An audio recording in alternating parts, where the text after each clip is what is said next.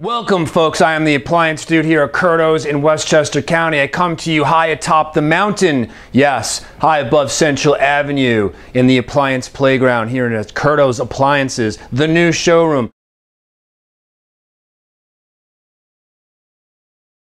I am standing in front of the Viking French door wall oven. Voila. Yes, we have been waiting for this bad boy for quite some time. Okay. It's really funny, by the way, as I'm doing this, I have about 50 cars outside on Central Avenue, maybe more like 20. They're all looking up at me and saying, what is this guy doing here? Again, one of the advantages of the new showroom. Much, much more visibility. Um, anyway, back to the oven. So I saw this for the first time at the KBIS show in Las Vegas back in February when I was a guest of Salim's and uh, I rocked the party very hard down there. Was very impressed by it. Um, they had to make a couple of changes though before it was actually released to the public. Biggest change was the gasket, okay, this uh, thin strip, which you could probably barely see with the camera. I'm probably showing you a close-up photo right now. The gasket was actually on the door, okay, in the first iteration that was going to come out. They didn't like the way that it looked, okay? Um, so they held it back, made some tweaks to it and what have you, and now it's good to go. The French door, okay, let's just talk about French door, just the design of them. It doesn't even necessarily have to be about ovens. Let's talk about French door refrigerators. The biggest disadvantage is the way that they close and they seal because of that gasket thing, okay? Um, one of the reasons why Sub-Zero took so long okay, for their French door refrigerator to come out. I mean, it was under like R&D for about six or seven years. And right at the height of all the French door sales that were going on, I remember it was 2006, okay? And I was out in Wisconsin. I asked one of the engineers, I said, why don't you have a French door refrigerator? Why aren't you releasing one in the next year or so? Well, because we're, we're working on it, but we're not going to release it until we get it right, okay? And that's the sub-zero way of doing things. Well, Viking, um, well, you know, that, that wasn't their mantra back in the day, but now under the Middleby command, they are totally focused on quality assurance and getting things right from a design and engineering standpoint. So they held this oven back. They wanted to make sure the seal on it was correct, because um, again, a French door is a tricky, tricky animal.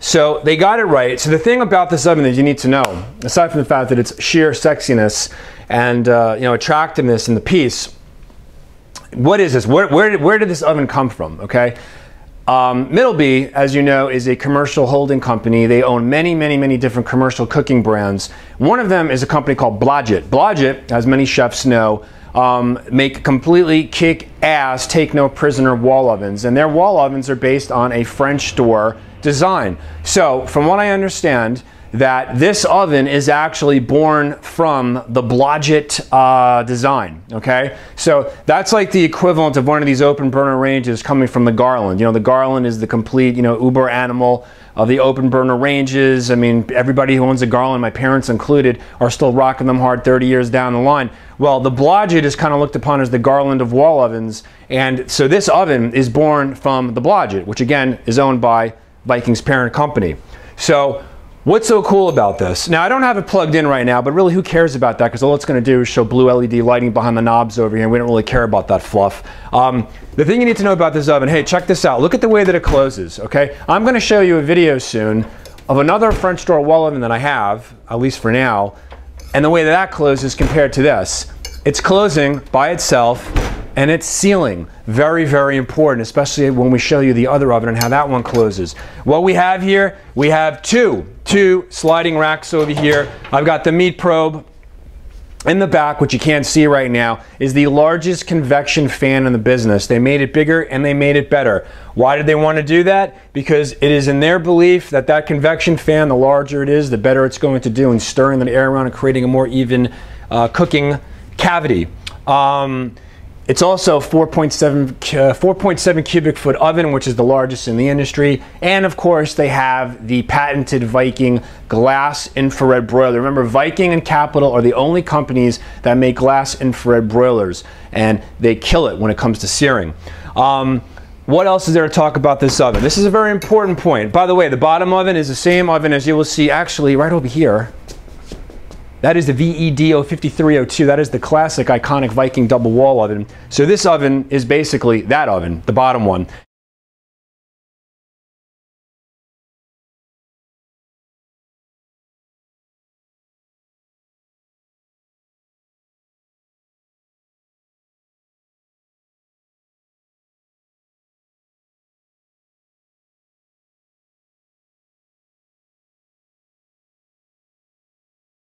One of the most important takeaways you need to know about this oven is the fact that it is only going to do self-cleaning in the bottom oven, the standard pull-down oven.